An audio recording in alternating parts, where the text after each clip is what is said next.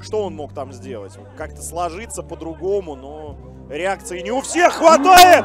Михаил Николаев! Капитан Сити! Подстать своей прическе. Просто невероятно пробивает. Дерзко и конкретно исполняет свой эпизод. Михаил Николаев мощнейший удар.